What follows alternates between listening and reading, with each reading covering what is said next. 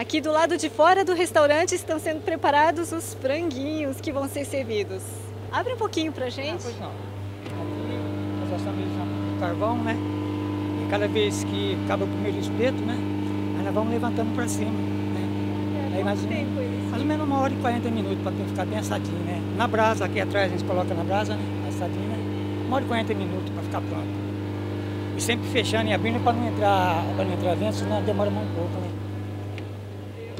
E todos, todo, todo sábado e domingo, média de 120 frangos entre sábado e domingo. É gostoso? Ótimo demais. Tempero caseiro, né? Muito bom. Obrigada. Obrigada. Ok. Foi abrir um pouquinho.